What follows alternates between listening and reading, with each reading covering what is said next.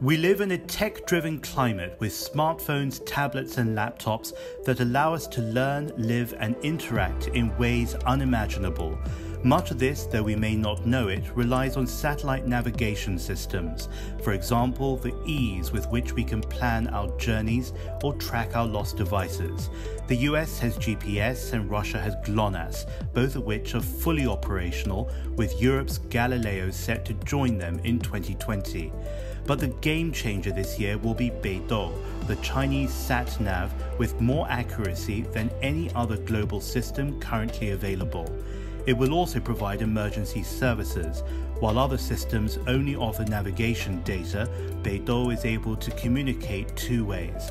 This means not only will it know where the user is, but more importantly, in an emergency, it can share the user's position with more people. In March 2020, the 54th satellite was launched from Xichang, a spaceport in the mountainous areas of Sichuan province. This new satellite is equipped with breakthrough technology with capacity for short message communications.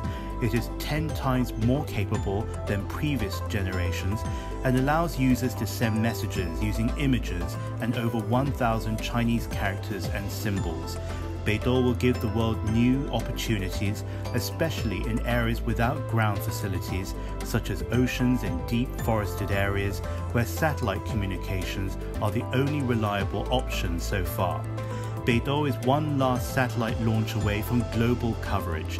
It's scheduled for launch in May 2020, at which point Beidou will have completed its network and emerge as the most advanced sat-nav system the world has seen.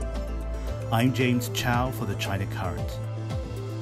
Hi, I'm James Chow. You're watching the China Current. Follow us on social media at the China Current.